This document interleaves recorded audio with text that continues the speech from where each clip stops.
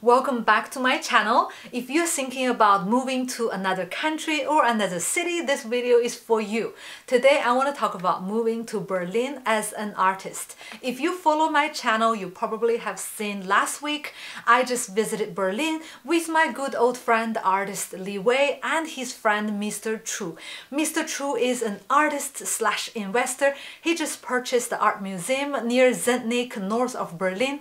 Together we visited the towns nearby nearby, his museum, and also the city Berlin. We shoot some amazing projects together and I would like to be showing you in this video the places I have visited and things I have seen.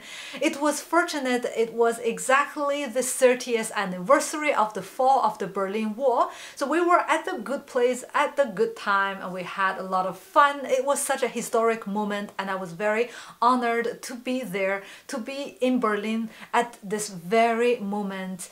And I would like to share those moments with you just before starting going into whether you should be moving to Berlin, I want to tell you a little bit of background story of me and Berlin. In 2010, 2011, I was living in Germany already, but another city called Bremen. When I was studying in Bremen doing my master degree, I visited Berlin very often and I had such an amazing time. I had a good experience and I always dreamed about moving back one day, moving to Germany, moving to Berlin.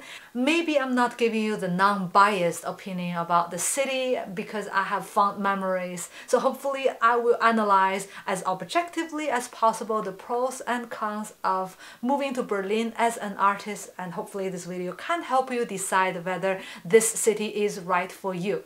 Let's start with the positive points. The point number one, Berlin has amazing public goods and services, very well established and managed. For example, it has the train networks, uh, regional train, and also the tram, the buses. If you live outside of Berlin, you can easily access the city without a car.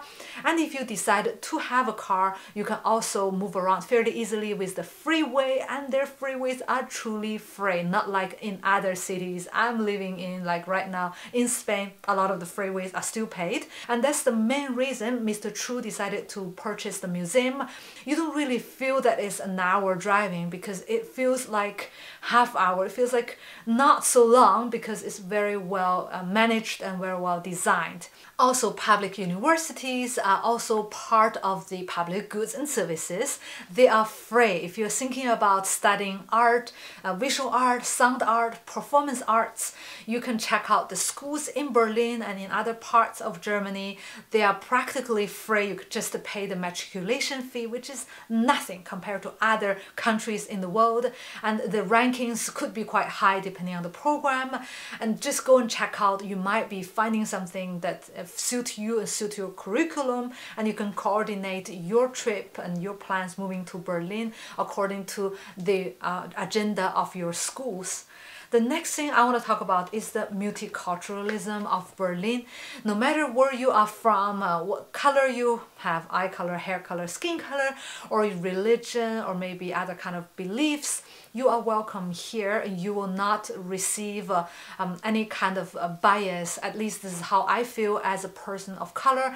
I was living in Australia before coming to Germany and I felt quite some uh, bias and some kind of hatred against Chinese immigrants for a variety of reasons. And I was worried moving to Germany, I was worried that they would treat me differently. But when I arrived, I realized that they actually treat me with more care and with you know more thoughtfulness and not to offend me in any way. I find them very cute and I don't find any inconvenience. And Berlin is such a multicultural city with a lot of international artists and international students.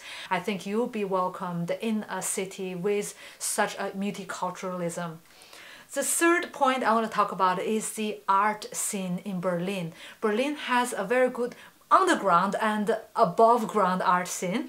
So the underground art scene is that you can check out uh, different Facebook groups and also uh, meetup groups. There are a lot of things going on like music festivals and secret openings and a lot of weird stuff but very cool, very fun around the city. Every weekend if you want to visit a place you will definitely not bore yourself. And also above the ground, I mean the art market is quite okay in Europe considered that since 2000 2008, there is a crisis in Europe and in Southern Europe, the art market has been hit quite crazily. But in Germany, in other parts of Europe like Switzerland, Belgium, and France, they are the last remaining standing um, European art markets. If you are entry level or mid-career level artist, you'll be able to find local art collectors for your art because the art market is still okay.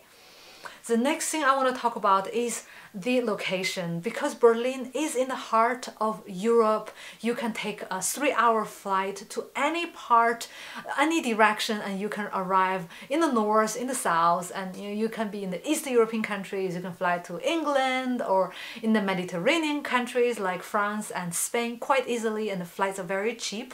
There are two airports, the TXL and the Schönefeld. They both operate uh, very low-cost cost airlines and have great connections to the city. It's very affordable moving around from Berlin to other places in Europe, especially in the Schengen area because you won't even need a visa to move around. Now let's talk about potential problems that you might encounter moving to Berlin as an artist. The first problem is language. As you know, they speak German, although that most of the educated people, like college students, they speak English, but the local uh, paperworks, the, the bureaucratic things are still done in German. And if you don't speak the language, you might face a lot of difficulties. Like when I was with Li Wei and Mr. Chu, they did not speak a word of German nor English, so they were pretty much stuck. And wherever they go, they rely on help, like I would translate for them or they would hire a translator, and that is really inconvenient. Uh, if you would like to stay in Germany for over a year, I would say definitely you need to take a German lessons, ideally before coming to Germany. If you don't have the time or opportunity, at least you should take German lessons 50 to 100 hours in the first year moving to Berlin. Otherwise, you are pretty much disabled because you won't be able to talk to other people or getting around and getting all the things that Berlin has to offer. Point number two, German has very regulated space in terms of business and contracts and labor laws. If you're an artist back in your country, maybe in America, you just sell art in the flea market and that's it. But in Germany, it's not like that.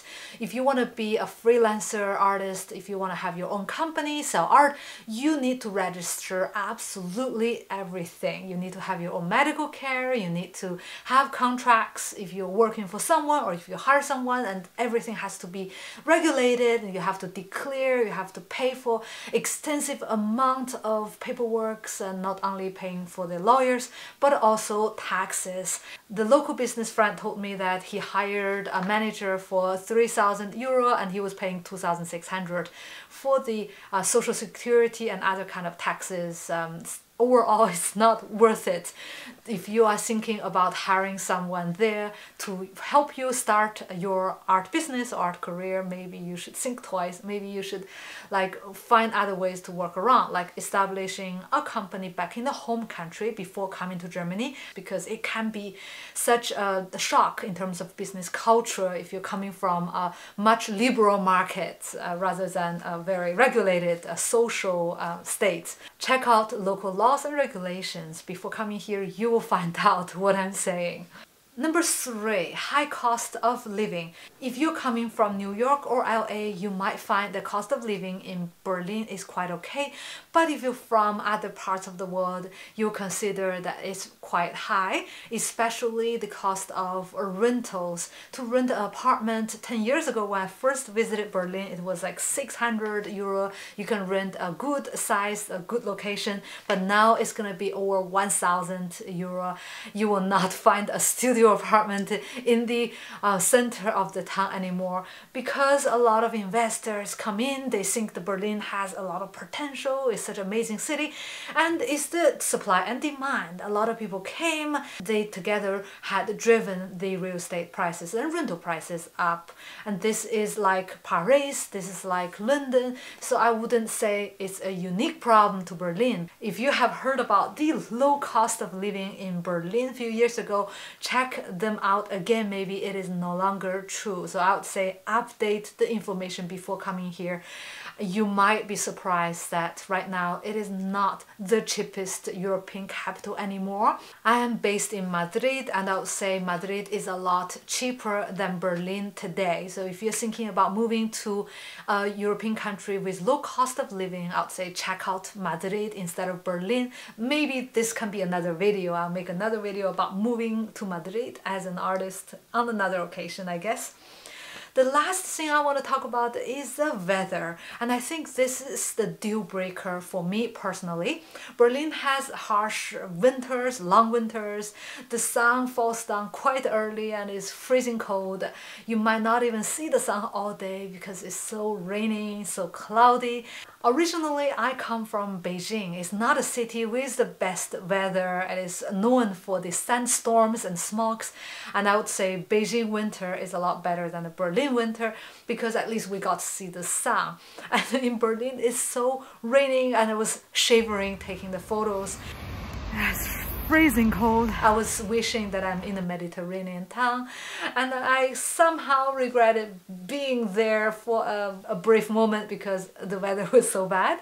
So for me this is a deal breaker. If you come from a city like New York with harsh winter, with a cold weather, maybe you don't mind. So check out the weather and maybe for you this is something that bothers you, especially if you like to draw outside unless you draw in the studio the whole time, it doesn't bother you, then that is totally fine.